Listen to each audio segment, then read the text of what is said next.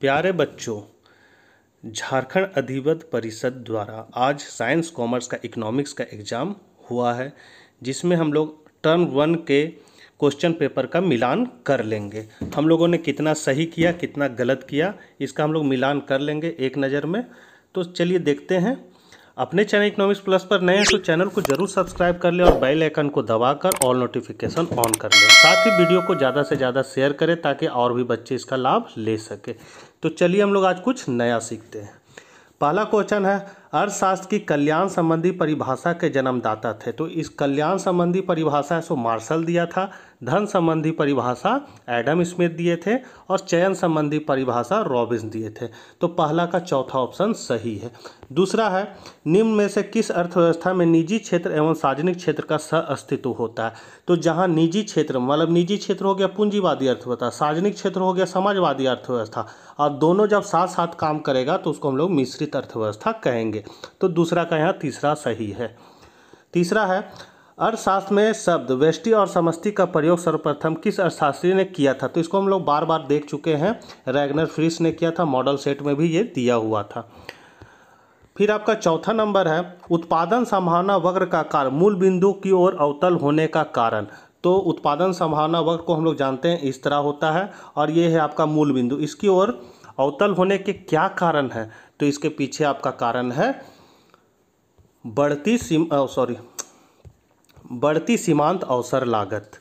तो चौथा का चौथा ऑप्शन सही हो जाएगा। पांचवा है, अवसर लागत का वैकल्पिक नाम क्या है? तो अवसर लागत को वैकल्पिक नाम होता है आर्थिक लागत। तो पहला ऑप्शन सही है पांचवा का। छठा आपका है, उपभोक्ता व्यवहार का अध्ययन किया जाता है। तो उपभोक्ता व्यवहार का अध्ययन हम लोग सूक्ष्म अर्थशास्त्र में करते हैं मतलब वेष्टि अर्थशास्त्र में करते हैं। तो यहाँ छठा का दूसरा हो जाएगा। सातवां है सीमांत उपयोगिता कैसे निकालते हैं? तो सीमांत उपयोगिता निकालने का फॉर्मूला होता है डेल्टा टी यू बटा डेल्टा क्यू। तीसरा ऑप्शन सातवां का तीसरा सही है। आठवां है, उपयोगिता का क्रमवाचक सिद्धांत किसने दिया? तो क्रमवाचक सिद्धांत हिक्स एवं एलेन ने दिया था और गणनावाचक सिद्धांत मार्शल ने दिया था। यहाँ पर आपका आठवां का चौथा हो जाएगा। नौवा है, उदासीन वक्र होता है। तो उदासीन वक्र क्या होता है? तो यहाँ पर इसमें कोई कंडीशन नहीं दिया, हर कंडीशन में अलग अलग होता है तो इसलिए उदासीन वक्र, मूल बिंदु की ओर उनोतोदर और मूल बिंदु की ओर और नोतोदर दोनों हो सकता है। तो यहाँ तीसरा ऑप्शन सही है। दसवां है, रसगुल्ला की कीमत कम होने से गुलाब जामुन की मांग। तो यहाँ दोनों क्या है, प्रतिस्थापक वस्तु है। मतलब एक का कीमत कम होगा तो दूसरा का मांग कम हो जाएगा। तो यहाँ पर दसवां का हो जाएगा दूसरा। ग्यारह है, बजट रेखा इंगित करती है। तो बजट रेखा क्या इंगित करती है? मूल्य अनुपात को। फिर है, प्रतिस्थापन की सीमांत दर इंगित करती है। तो प्रतिस्थापन की सीमांत दर इंगित करती है अंधिमान वक्र का ढाल को। अंधिमान वक्र को हम लोग तटस्था वक्र भी कहते हैं या उदासीन वक्र भी कहते हैं। तो यहाँ पर आपका बारह का हो जाएगा तीसरा। तेरह नंबर है, यदि उपभोक्ता की आय में वृद्धि से वस्तु एक्स की मांग कम हो जाती है तो वस्तु एक्स होगी। तो वस्तु एक्स क्या होगी? गिफेन वस्तु। तो तेरह का यहाँ हो जाएगा चौथा। चौदह है, यदि किसी वस्तु की मांग रेखा कीमत अक्ष वाई अक्ष के समानांतर है तो वस्तु की मांग की लोच का मान क्या होगा? तो यहाँ वस्तु की मांग की लोच का मान आपका हो जाएगा शून्य। चौदह का चौथा। फिर पंद्रह है उपभोक्ता का संतुलन उस बिंदु पर होता है जहाँ। तो मार्शल के अनुसार, ये है मूल की रेखा, ये है सीमांत उपतर जहाँ पर ये आपस में मिलते हैं मतलब बराबर होते हैं, वहीं पर संतुलन होता है। तो यहाँ पर पहला आपका ऑप्शन जो है, सही है। सीमांत उपयोगिता बराबर मूल्य। पंद्रह का पहला हो जाएगा। सोलह नंबर क्वेश्चन है, गिफिन वस्तुओं के लिए कीमत मांग की लोच होती है। तो कीमत मांग की लोच होती है धनात्मक।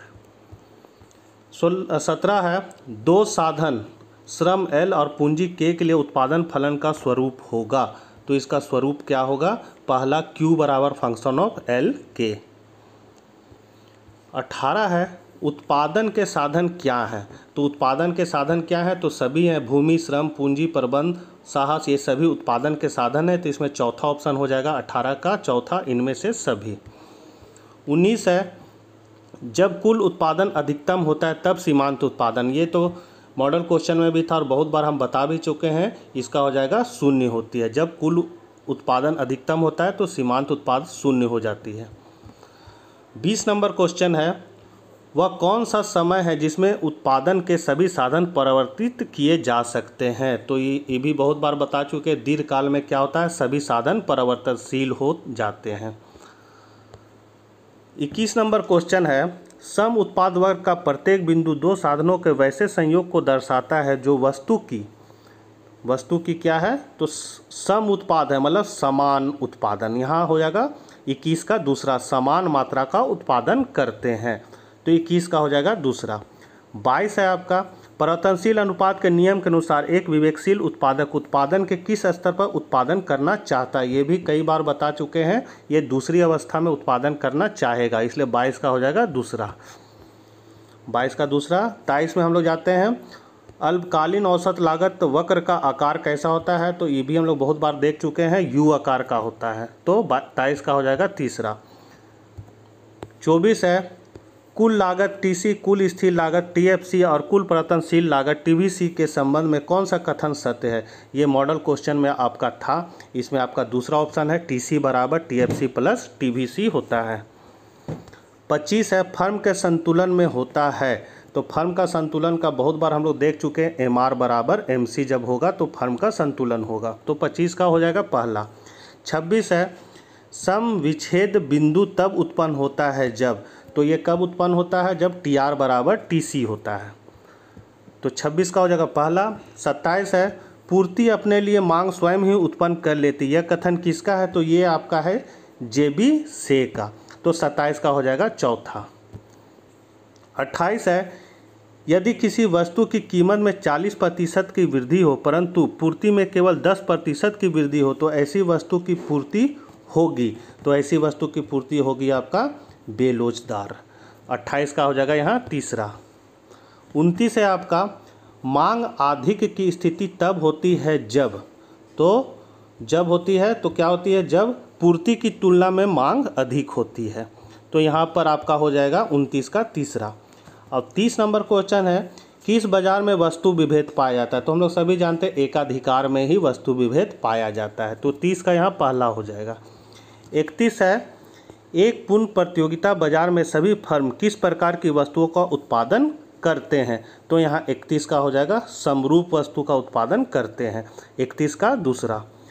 बत्तीस है, एकाधिकार के अंतर्गत ए आर वक्र और एम आर वक्र में क्या संबंध होता है? तो A R greater than M R होता है। बत्तीस का हो जाएगा, पहला। तैंतीस नंबर क्वेश्चन है किस प्रकार की बाज़ार संरचना में किसी वस्तु का एक और केवल एक उत्पादक होता है? तो ये हम लोग अच्छी तरह से जानते हैं, ये होता है एकाधिकार में। तो तैंतीस का यहाँ हो जाएगा दूसरा। चौंतीस है, एक विक्रेता को छः रुपया प्रति इकाई कीमत पर किसी वस्तु की पचास इकाई की बिक्री से प्राप्त कुल आगम की राशि क्या होगी? तो कुल आगम मतलब टी आर टी आर का फॉर्मूला होता है मूल्य गुने मात्रा। यहाँ आपका मूल्य कितना दिया? तो वस्तु एक विक्रेता छः रुपया प्रति, मूल्य यहाँ छः रुपया दिया हुआ है और मात्रा कितना है? पचास। तो छः को पचास से गुना कर दीजिए तो छः पचे तीस, तीन सौ। तो आपका चौथा ऑप्शन सही है, तीन सौ इसका आंसर हो जाएगा। पैंतीस नंबर क्वेश्चन है, निम्न में से कौन सही है? तो ये एक फॉर्मूला है, ये पहला ऑप्शन सही है ए आर बराबर एम आर ब्रैकेट में ई e बट्टा ई माइनस वन होता है।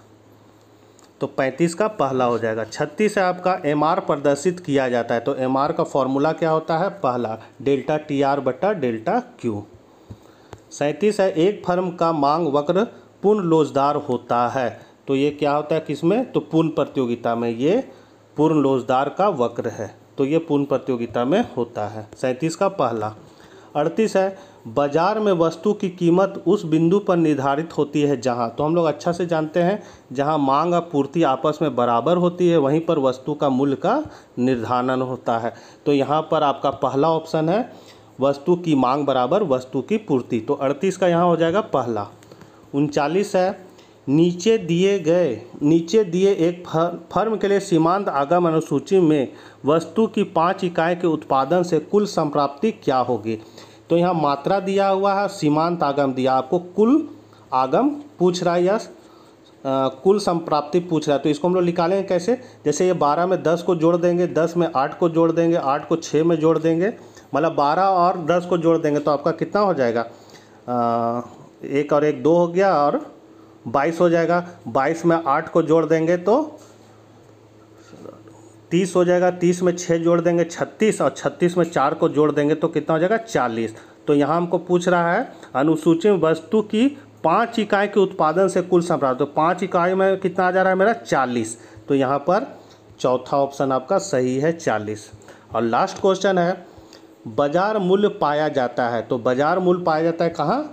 अल्पकालीन बाज़ार में। तो चालीस का हो जाएगा पहला। तो उम्मीद करते हैं आप लोगों का एग्ज़ाम अच्छा गया होगा। आप लोग बेहतर किए होंगे। अब आज्ञा दीजिए, मिलते हैं नेक्स्ट वीडियो में। तब तक के लिए जय हिंद, जय भारत।